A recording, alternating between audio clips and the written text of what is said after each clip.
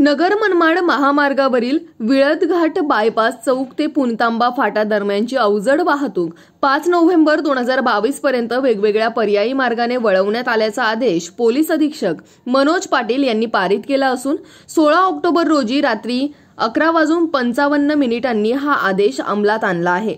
त्यामुळे आज आठवड्याच्या पहिल्याच दिवशी नेवासा फाटा येथे वाहतुकीची प्रचंड प्रमाणात कोंडी झाली.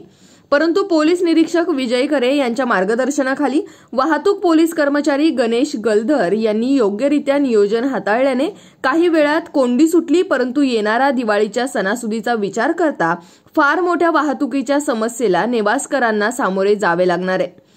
लोणी बाभळेश्वर श्रीरामपूरकडून अहमदनगरकडे जाणारी सर्व प्रकारची जड वाहतूक श्रीरामपूर टाकळीभान नेवासा मार्गे अहमदनगर या मार्गाने आजपासून वळवण्यात आली आहे.